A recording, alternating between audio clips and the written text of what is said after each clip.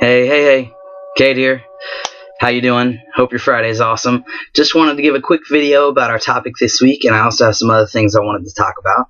Uh, I just spent the last 10 minutes trying to find the best sound and light in my house because it's storming right now, and it, it's really not happening. So, coincidentally, the best sound and light in the house is in the closet. So, take that for what you will. This week we're talking about politics. I don't know if you've been keeping up with the DNC, the RNC, the conferences, the debates, uh, the the political mudslinging, if you will, that's been happening all year. I'm sure you haven't avoided it unless you live under a rock. But um, we're we're talking about it. I was always told as a kid not to bring three things to the dinner table conversations about religion, politics, or money. Um, it was supposedly uncouth. But here at the Beaver Bunch, we talk about whatever no holds barred. And I think that's really important. I think it's important for the younger generations, um, mine included, to feel like they can express their opinion, um, especially in a political arena. I think that we're gearing up towards that. I think that the candidates are, are really kind of taking us seriously, and and um, especially with the MTV's Rock the Vote that's you know been popular over the last decade or so.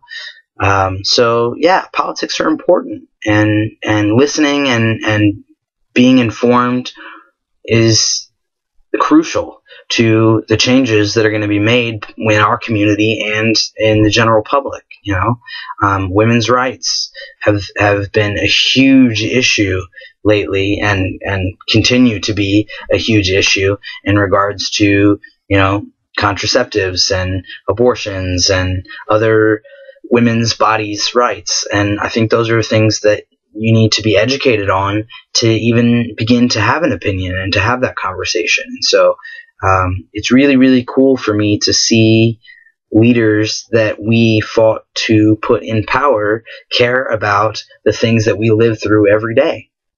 You know? Like, they're talking about us. They're fighting for our rights.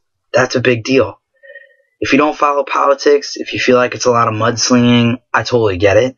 I get it if you go to listen to the conference, you listen to it for about five minutes, and then you have tired head, so you have to go get a drink to even get through the rest of it. I totally get that too. I feel like sometimes it's way too formal. There's a lot of processes and government mumbo jumbo that kind of you know muddies the whole process. Um, so you're not alone there. But um, your voice is important and your vote's important, just like how you spend your money is. You know, you can make a huge impact with changing how you spend your dollar. And I feel like a lot of people maybe don't know that, don't realize it, or don't care to realize it. So politics are important, regardless of who you're voting for. That's really not what this week is about. So um, I would like to hear uh, from you guys about how politics affects your life. Are you into it? Are you not into it? Um, if if you're not into it, what how could you be into it? Is there a way that you feel like politics could change um, to get you involved? I think that a lot of people feel like it's maybe a lesser of two evils, and so that's why they don't get involved. But it's a hard job, regardless. You know, I I wouldn't want that job. There's way too many people to try to please. So, um, yeah, that's our topic. Uh, let's see. Big news on the front. I, I am still moving to New York. I'm headed to the Southern Comfort Conference in Atlanta, Hot Atlanta, um, on the 18th. It's a, a gender a trans conference. Uh, if you've never heard of it, you should Google it. Just Google Southern Comfort Conference. It's been going around for years and it's a huge event actually. So everyone is welcome, partners, trans people alike, um, gender nonconforming people. Just, it runs the gamut of people that can attend these conferences. So um, check it out if you'd like. If you're going to be there, feel free to say hello. I will be there. I'd love to hug your face.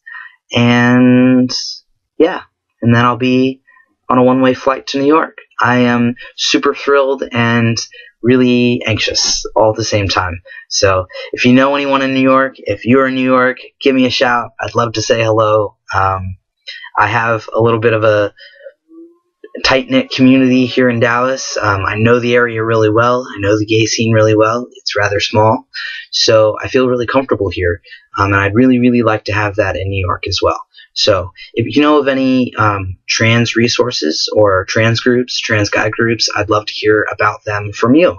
So I can always learn just as much as I give you guys advice. I'd love to hear it from you. So uh, the last topic on the agenda tonight, before I ramble on forever, is merch. Uh, if you check us out on Facebook, facebook.com slash beaverbunch, we have talked about merch for the last couple days now, and we got a, a, really good feedback on people being interested in merchandise. And uh, I just think it's a really cool idea to be able to spot a fellow beeve uh, from you know way across the room or across the mall or you know somewhere random at a bar or whatever. I think it would be really cool to to be able to be like, oh, you're in on it. That's awesome.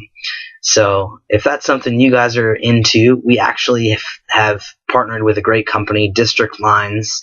They do a lot of YouTube work. A lot of other um, smaller companies or bands um, have their merch on that website. So check us out at districtlines.com slash beaverbunch. We put a, a, few t-shirt options up there. It's uh, some that I really like and I think that are, that are kind of funny and I'm probably going to rep. Um, if you'd like to see something different, give us a shout. Tell us what you'd like to see, what you want to wear, what you want to rep, and maybe we can get that happening for you. So I hope that you guys have a fabulous weekend, and I hope that the weather cools off enough to actually let me wear my winter clothes. And I'll talk to you guys soon. Adios.